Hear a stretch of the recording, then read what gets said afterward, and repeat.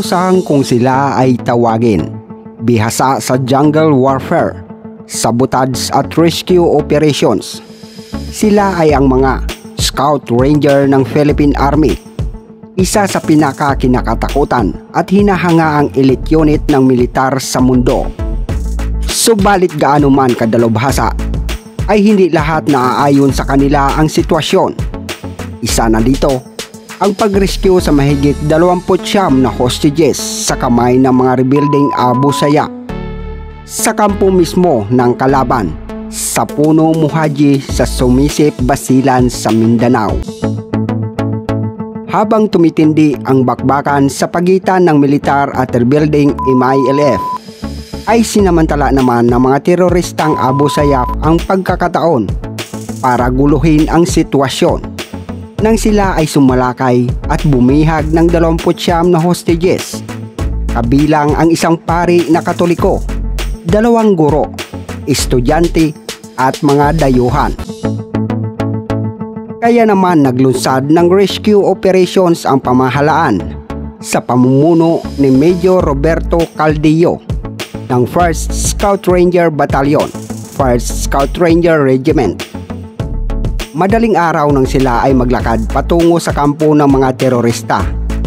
Walang mga tulog. Mabagal ang mga paglalakad. At dahan-dahan ang bawat paghakbang dahil bukod sa walang daan ay madulas at maulan pa. Si Corporal Rosalito Delgado ay isa sa pitong miyembro ng Suicide Squad na unang nakakuha sa kampo ng Abu Sayyaf sa Puno Muhaji. Noong panahong taong 2000 sa ilalim ni dating Pangulong Joseph Estrada. Kalakasan noon ng mga Abu Sayyaf sa pamumuno ni Gaddafi dan Jalani at marami rin silang nabihag ng mga foreigners. Dinala nila ang mga ito sa kanilang kampo sa taas ng isang bundok kung saan ikinulong nila ito na parang aso. Malakas ang perimeter ng mga Abu Sayyaf. Maganda ang posisyon ng kampo nila.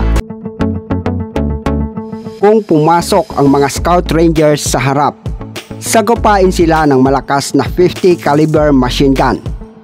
Ang likod naman ng kampo ay napakatarik na bangin, maputik at maliliit ang kahoy na pwede kakapitan. Ang unang salbo ng Rangers galing sa bangin sa likod. Dahil maputik at umuulan, hindi makaakyat ng mabilis ang mga Rangers. Pinaulanan lang sila ng bala ng mga terorista sa unang araw, maraming rangers nakakapit ang isang kamay sa isang maliit na puno sa bangin na iyon habang pumuputok ang isang kamay. Dihado talaga ang posisyon nila dahil galing sila sa low ground.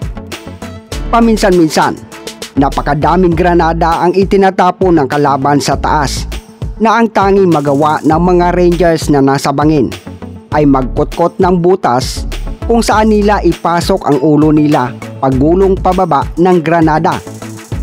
At dahil halos wala silang cover, marami ang mga nasugatan sa kanila at di makaabante pataas. Sa pangalawang araw, sinubukan naman ng mga Rangers pumasok galing sa harap. Mas matindi ang sinapit nila dahil napakadami talaga ng kalaban na umaabot sa halos sa tatlong daan. Hindi rin makaobra ang mga howitzer at helicopter dahil ang bubong ng mga bunkers ng kalaban ay may pampalakas na mga kahoy ng niyog. Isang batalyon ng Rangers ang umuupak pero matindi talaga ang kalaban at maganda ang posisyon. Sa pangalawang araw, apat na ang namatay sa Rangers at 36 ang sugatan ang mga nakabitin naman sa bangin, hindi rin makababa at paubos na ang pagkain. Dahil hindi na makaluto, kinakain na ng hilaw ang mga noodles na baon nila. Wala na rin tubig na mainom, kaya madaling humina. Para mapigilan ang lalong pagdami ng mga kaswaltes, nagpasya ang batalyon commander nila na magbuo ng suicide squads ang misyon ng mga ito ay para pumasok na sila-sila lang para masorpresa ang kalaban.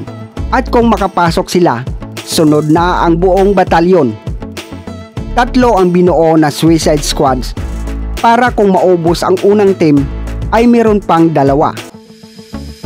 Dahil sa taglay niyang tapang at disiplina, isa sa napili sa unang bugso ng Suicide Squads si Corporal Delgado. Iniwan na nila ang kanilang mga gamit. Nagdasal na makabalik pa at alas dos na ng madaling araw. Sinimulan nila gapangin ang 25 meters, 90 degrees ang tarik na maputik na bundok. Ang target nila ang malakas na machine gunner posisyon ng kalaban. Dahan-dahan silang gumapang, ni isang kaluskos walang marinig para di magising ang mga kalaban. Kung sakaling magising ang kalaban, tatapunan sila ng granada, siguradong ubos sila. Matapos magdusa mula sa mabibigat na kaswalti at dahan-dahang pagkawala nito mula sa mataas na posisyon ng mga rebuilding Abu Sayyaf sa kanilang ligtas na mga bunker at binomba ng mga mortar at machine gun ng mga kaaway. Si Major Caldillo ang commander ng 1st Scout Ranger Battalion, 1st Scout Ranger Regiment Special Operations Command ng Philippine Army. Sa tatlong araw na pag-atake sa Hill 898, ang pinakamalaking Abu Sayyaf camp sa Basilan, Camp Abobarjak, Puno Muhaji Basilan.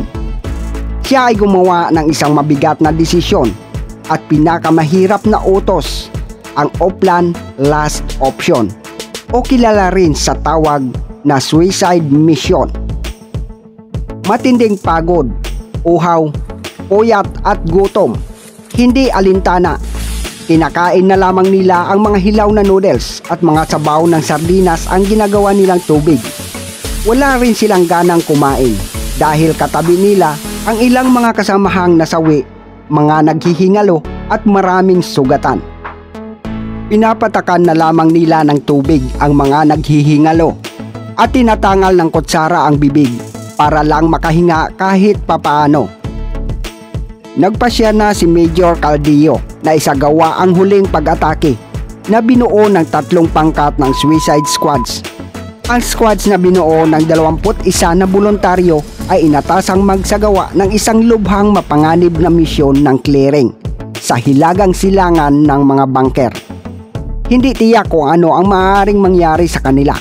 Ang mga miyembro ng squads ay iniwan ang kanilang mga mahahalagang kagamitan sa kanilang mga kasama para ibigay sa kanilang mga mahal sa buhay. Dahil para sa kanila ay maaaring iyon ang kanilang katapusan.